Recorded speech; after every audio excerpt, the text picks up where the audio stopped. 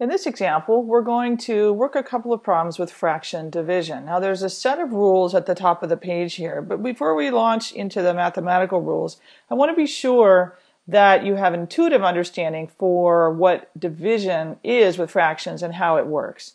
So if I have 2 divided by 1 fourth, then let me take a whole that's divided into four pieces. So 1, 2, 3, and there's another one. These aren't the straightest wholes.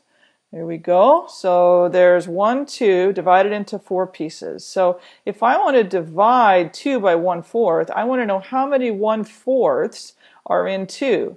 So here's 1, 2, 3, 4, 5, 6, 7, 8. So the result of 2 divided by 1 fourth should be 8. Well, let's see how that would work with our mathematical steps.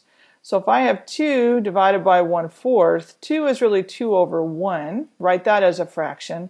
I'm going to change my division to multiplication and use the reciprocal of the second fraction.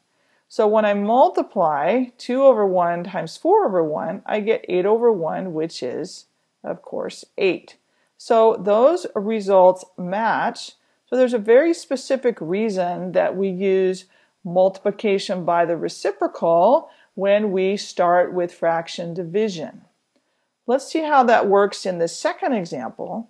I have 2 divided by 2 fifths, so I'm going to take my same whole, also kind of a crooked whole, 1, 2, 3, 4. I'm going to divide it into 5 pieces, so I'm going to duplicate that here, 1, 2, 4, and I want to know how many 2 fifths are in 2. So here's 1 2 fifths. Here's 1 2 fifths. That would be 2.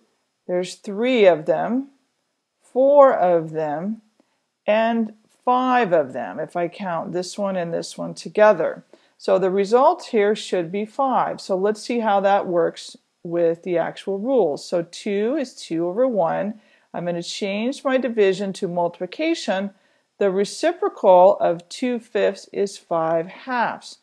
Now I have a common factor of 2 that can be removed, leaving me with 5 over 1 equals 5. So again, those results are the same. So try to remember this kind of intuitive approach, and that approach is the reason behind the rules that we use for fraction division.